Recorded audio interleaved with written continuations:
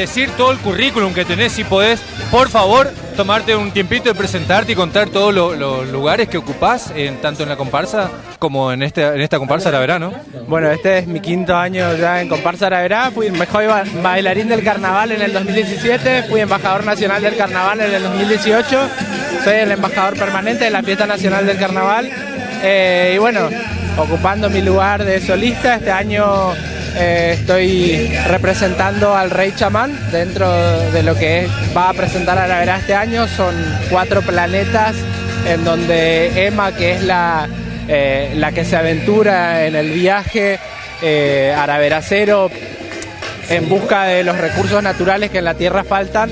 eh, tiene cuatro planetas y bueno, a mí me toca representar al planeta Midgar, que es el planeta de Tierra. donde- Disculpa, ¿hace cuánto me dijiste que está en Araverá? este es mi quinto año. ¿Y cómo se siente, qué se siente estar, ser parte de Araverá? Y la verdad que primero que yo nací en Montecaseros eh, y lo veía como algo inalcanzable, esa sensación que uno dice, Araverá es muy grande, es muy colosal, uno siente que es una gran comparsa y que parece casi inalcanzable para uno que, que siempre siguió la historia de Araverá, pero realmente cuando ingresé me hicieron parte de esta gran familia que somos.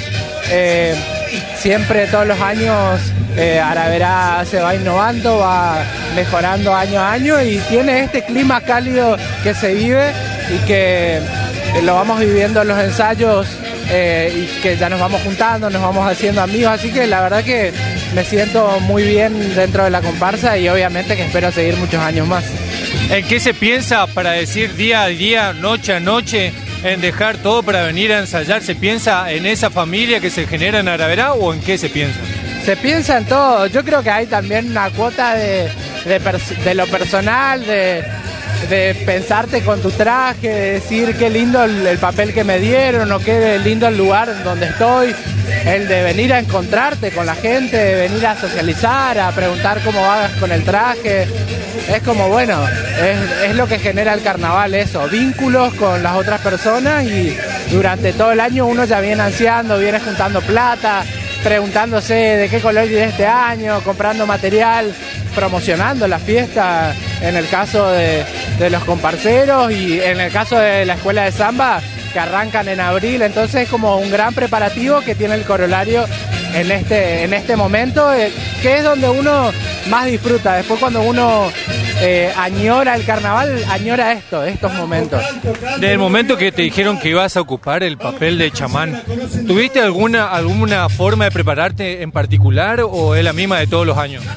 Bueno, el, el gran chamán eh, viene a custodiar el, el- elemento tierra eh, y está muy vinculado a la película Avatar. Entonces, bueno, rever la película, mirar cuáles son las características de los personajes, ir pensando el make-up.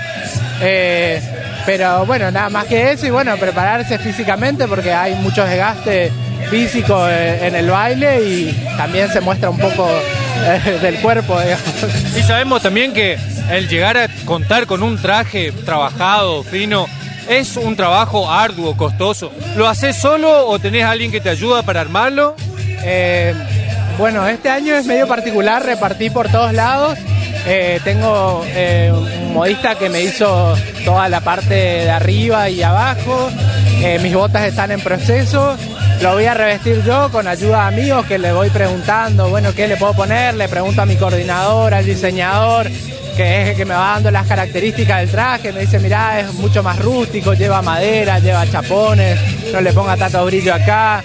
Eh, así que, y el tocado me lo estaban haciendo eh, en un taller, así que es bastante grande, un tocado de chamán.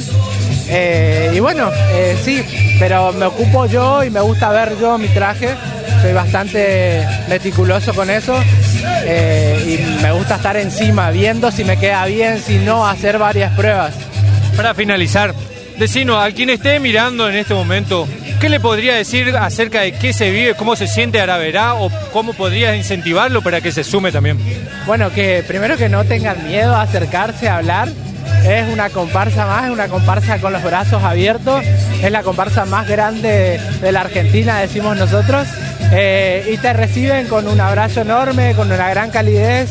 Eh, siempre hay apertura eh, por parte de los directivos, de los directores artísticos, de los coreógrafos, ante cualquier planteo que uno pueda hacer, de decir, mirá, no voy a sentirme cómodo con esto, o me parece que puedo mejorar en esto. Así que eso, que se acerquen, que se acerquen a los ensayos, ahora ya estamos muy cerca de la fecha, pero ya el año que viene pueden ir preguntando para seguir sumándose a esta familia que cada vez se agranda más. Bien, muchísimas gracias y lo mejor de los éxitos para este Momo 2020. Gracias a ustedes por difundir todo lo que es esta fiesta.